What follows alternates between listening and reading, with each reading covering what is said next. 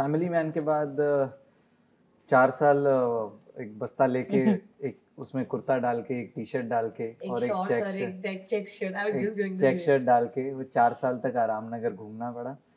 पड़ा क्या? मतलब मौका मिला घूमने का मैं ये कहूँगा। और ऑडिशंस देने पड़े और दिन में चार जगह आप स्टूडियोज में जाकर आपको इंट्रोडक्शन देना पड़ा। और फिर for this. तो भी मतलब 90 परसेंट क्या है कि एक्टर्स की लाइफ में नो ही होती है।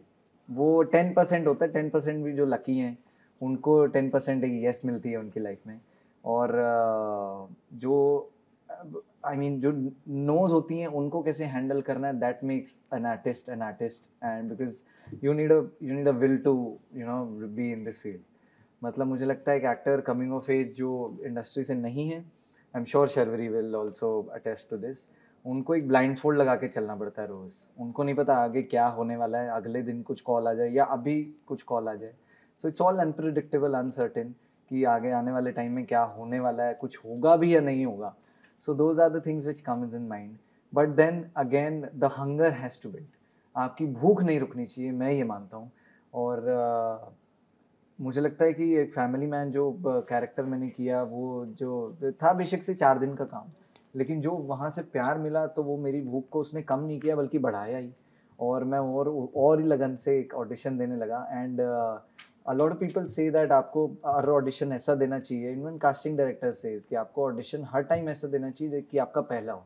मैं ये मानता हूँ कि आपको हर ऑडिशन ऐसा देना चाहिए कि आपका आखिरी हो। इसके बाद आपको ऑडिशन देने की ज़रूरत ही ना पड़े, आप ऐसा ऑडिशन दें तो उस उसके चलते मतलब वो एक जो थिंकिंग थी मेरी तो वो आ, मैं उसको फॉलो करता रहा and then came a day जब मुझे कास्टिंग में अनमोल सर से एक फ़ोन आया कि एक ऑडिशन हो रहा है और आ, मुझे पता लगा कि काफ़ी टाइम से उसकी कास्टिंग हो रही है तो मैं गया। एंड ऑडिशन देते ही ना मुझे एक, एक फीलिंग ज़रूर आई थी कि ये कुछ नया बनने वाला है हिंदी फ़िल्म इंडस्ट्री में। और मैं हमेशा से मतलब फॉलोअर फॉलोइंग की उसकी जगह मैं एक ट्रेंड सेटिंग अगर कुछ कर सकूँ तो I think I will be I am more happy in that space तो इसका मुझे मतलब मुझे एक वो थोड़ा ज्ञान था कि यार ये ऑडिशन देते ही कभी एक फीलिंग नहीं आई है कि यार ऐसा कुछ तो कभी किया ही नहीं। तो सेट पे करने में कितना मज़ा आएगा? और लंबे दौर तक वो ज़िंदगी जीने में कितना मज़ा आएगा? तो एक ब्यूटीफुल प्रोसेस था ऑडिशन का जो हमने किया। और आज मतलब अगर अभय वर्मा जैसा लड़का अगर आपके सामने बैठ के इतनी बड़ी बात कर सकता है तो कुछ भी हो सकता है।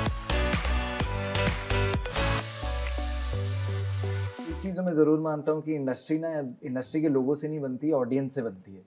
और जो तीन दिन का प्यार मुझे मिला है मुंजिया में, वो आई थिंक हम सभी सोच रहे हैं कि अरे ये मतलब इतना प्यार, इतना कूट कूट के भरा है, ये तो मतलब हमारा, हमारे प्यार की टंकी भी भर चुकी है, इसको स्टोर कहाँ करें?